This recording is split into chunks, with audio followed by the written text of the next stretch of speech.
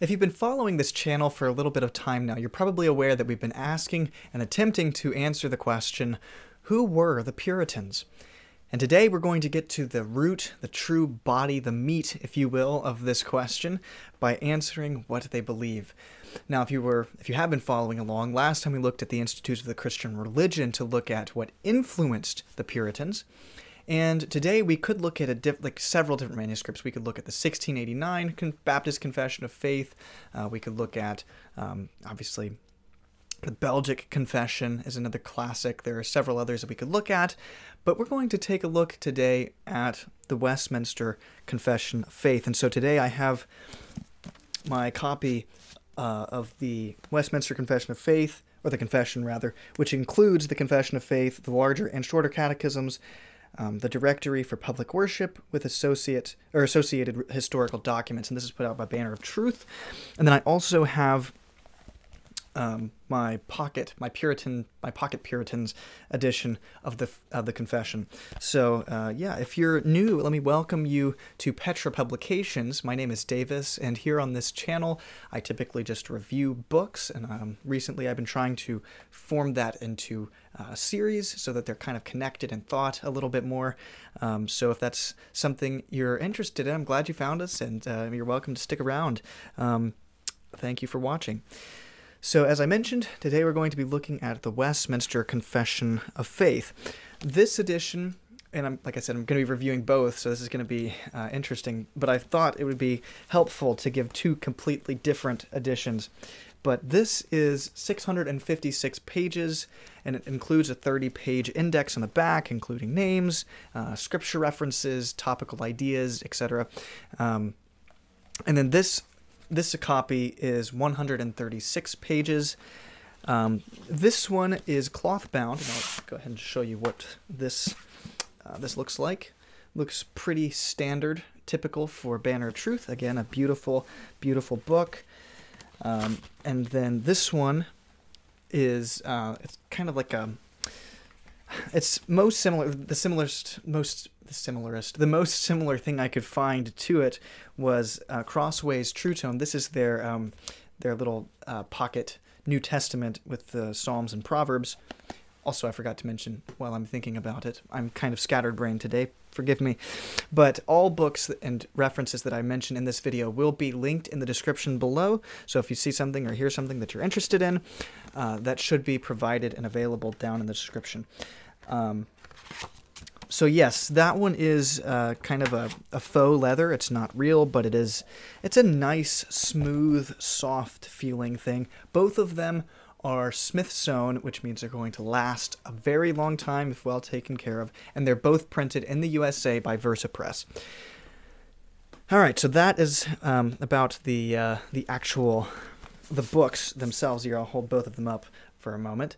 There we go, and. Uh, so now to give a little bit of like just a brief history of the Westminster Confession. So 121 ministers of the Church of England, 30 lay assessors, which were which consisted of 10 nobles and 20 commoners of various denomina- denominational convictions, uh, were brought together, and they were directed to create a confession of faith, uh, to create something that uh, believers could conform to and say, yes, we're going to hold to this, but also to understand doctrine better and to link scripture references uh, to those doctrines.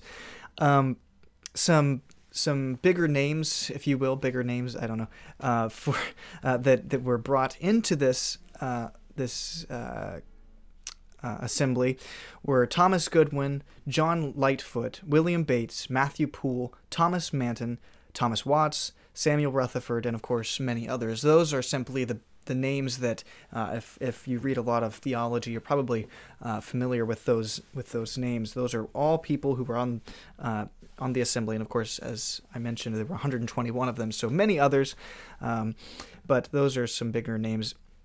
They started on July 1st of 1643, and they didn't finish until 1652. That was to finish up the larger and shorter catechisms as well.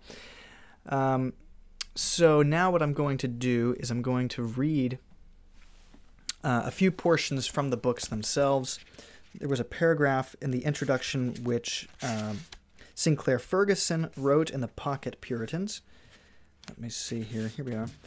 This is just a paragraph. He's addressing the idea that um, the Westminster Confession is Calvinistic, and he says it is Calvinism in the sense that it finds its roots in a in and is influenced by the kind of biblical the- theological perspective expressed in Calvin's Institutes of the Christian Religion, which is precisely why we reviewed that first, uh, which is linked in the description below. In this context, the Confession's soteriology, its understandings of the way of salvation and the nature of the Christian life, is deeply rooted in Christ. Salvation is seen as a gift from God that it becomes ours through faith in Christ and leads to a life devoted to the glory of God. Indeed, in some areas, assurance, for example, where the confession has been accused of differing from Calvin, it is not difficult to demonstrate how much it actually echoes the truths he had discovered by his careful exposition of Scripture. So, that is a brief uh, understanding of the confession. And then also, I'm going to read a portion of this introduction. This is, um, let me see, what page is this? 17. Here we go. So this is Thomas Manton writing, talking about the Westminster Confession of Faith. And he says, I do therefore desire that all ma- uh, masters of families would first study well this work themselves, and then teach it to their children and servants according to their several capacities. And, if they once understand these grounds of religion, they will be able to read more other books more understandingly, and hear sermons more profitably, and confer more judici- more judicious, judiciously, excuse me, and hold fast the doctrine of Christ more firmly than ever you are like to do by any other course. First, let them read and learn the shorter catechism, and next the larger, and lastly, read the confession of faith. And so I read that portion, and it reminds me of how the uh, churches that conform to the Westminster Confession really, truly focus on the children in the church, and I really, really appreciate that. Um, they, they do so in a way that just I don't see in any other church.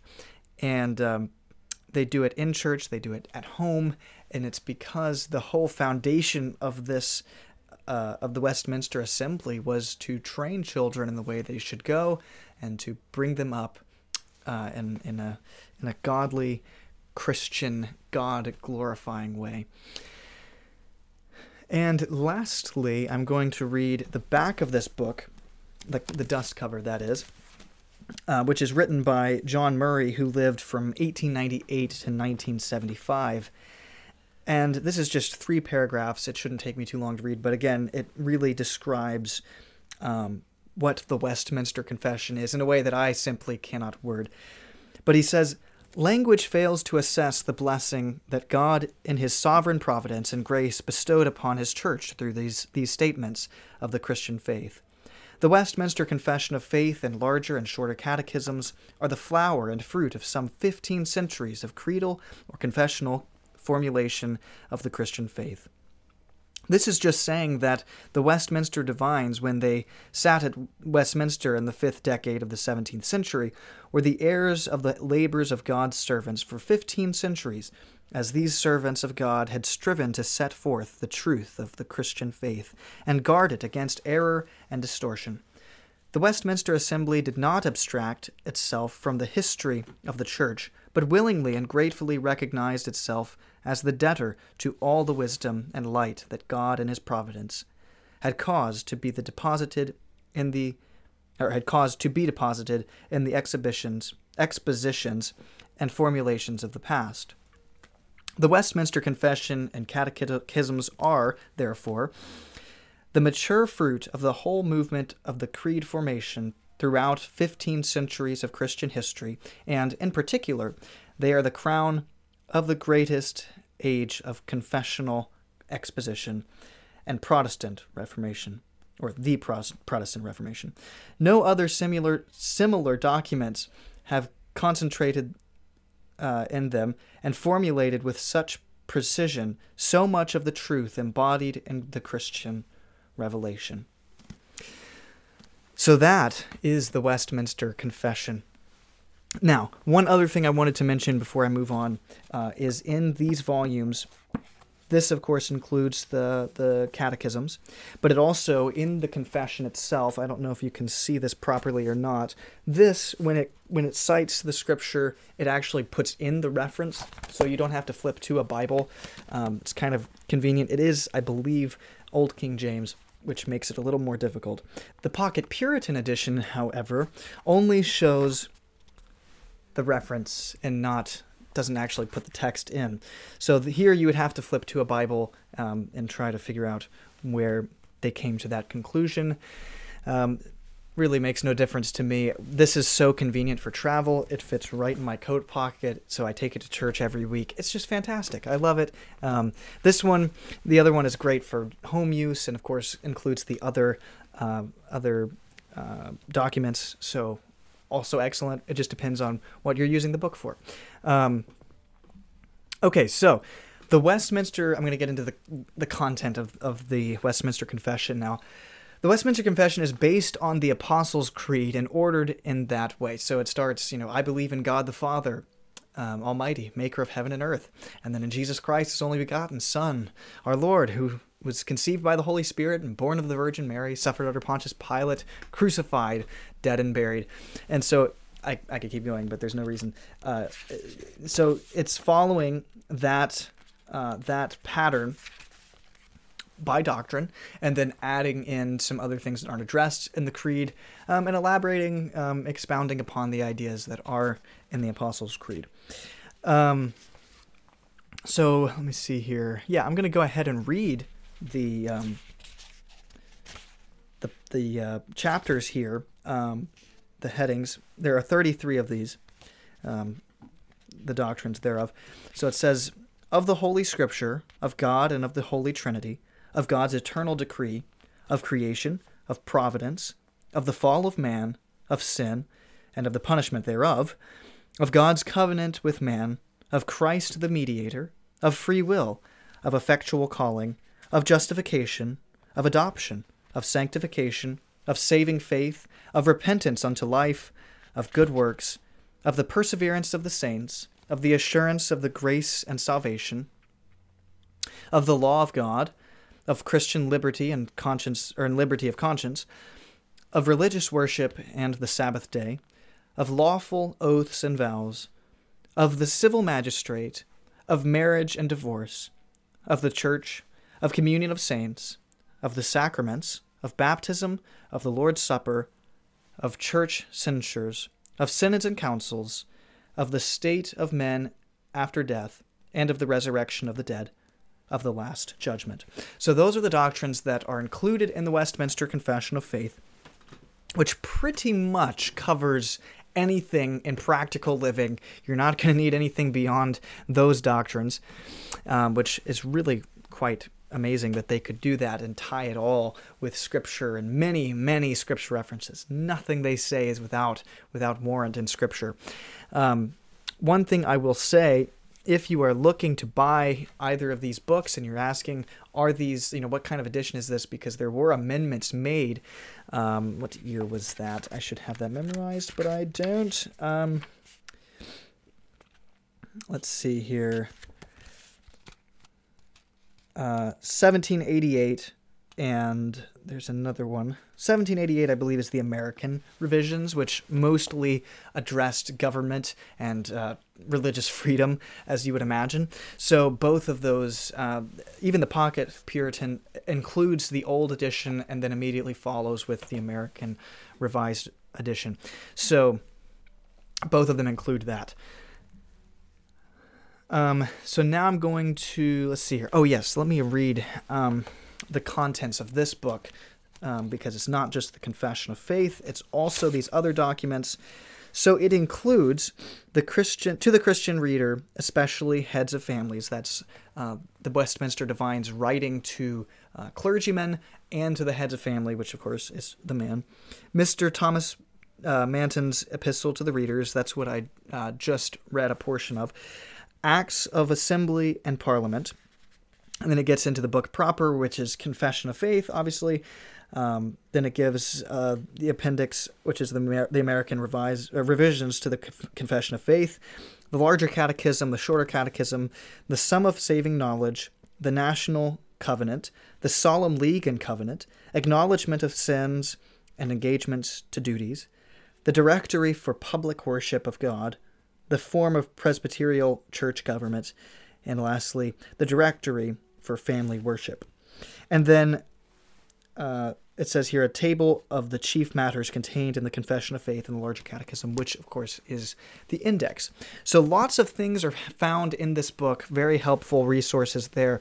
Um, this book is actually, as far as I remember, it's actually kind of a pricey book, which is kind of unfortunate, but it's also a must-have if uh, if you're interested in theology. But worth the money. So, are there any better books on this topic? Of course, I addressed at the beginning of this video that there are many other confessions, many other places you could go. I personally, even with the Heidelberg, um, the 1689, uh, I'm going to have to say no. I think this is the best confession of faith, the best written, the best and closest to the Bible. It's my personal favorite and I would recommend it to anyone. So would I buy this book? Either either one of these editions? Yes, yes, I would. Both editions are quality books that Banner of Truth puts out, um, and of course, Banner of Truth always nails the publishing of their books. Always Smith Sewn, always cloth bound, or in this case, uh, TruTone or faux leather of some sort. Uh, really well made. Uh, one is great for travel, the other for home use, as I mentioned earlier. Just great books. So, um, one thing I wanted to say also before I get into my final closing thoughts, and that is Banner of Truth. If you are watching this video, if you are paying attention, please listen to what I say. This is fantastic. Me and a friend, or a friend and I, were talking about this, and uh, we came to the same conclusion that we would love to have a larger and shorter catechism edition of the Pocket Puritans. If possible, please make it happen. It would be just be amazing. And then you could have like a little slip cover for uh, for the books. I we both were just like that would be fantastic because we love this so much. Uh, we just think it'd be great to have the the catechisms in the same format. Um, so if that is possible, that would be just fantastic. Um, and then also, so here's my final closing thoughts. Uh, hopefully, by the time this video comes out, I will be uh, releasing a, uh, a, project that I've been working on for quite some time now, which is an audio type book uh, of the Confession of Faith, where I read chapter by chapter each doctrine, not only to make it more accessible to uh, the masses, but also to just as an aid as you're reading through the confession that you would have someone reading it to you. Sometimes it's easier to pay attention. You you grasp more um, in your mind if you have someone reading it to you. So hopefully, by the time this video comes out, which should be in a few weeks, um, I will have that project finished and can release them around the same time. So that will be coming soon. Um, and then lastly, if you buy the Westminster Confession of Faith and you have not read any kind of theology at all, and you haven't read anything of Old English or things of the past, then perhaps you could consider purchasing also alongside of the confession a commentary. And a, an acquaintance of mine, uh, Dr. Chad Van Dixhoorn, has a fantastic uh, commentary on the Westminster Confession of Faith where he explains everything in a beautiful way. Again, linked down in the description below. The Banner of Truth just republished that work, and it is just a great resource. And he explains uh, and expounds upon what the Westminster Divines had previously written. All right, well, I think that's all I have for today. Uh, hopefully, that was helpful in some shape, way, or form. And if it was, please let me know, know down in the comments below. I always appreciate hearing from you. Um, I hope that this. Uh, let's see. I just said that. Sorry, I'm running by memory now. Uh, I've gotten to a form of of doing this. Um, uh, yeah. Uh, hopefully, you have a great week, and uh, Lord willing, I will see you again very soon. God bless.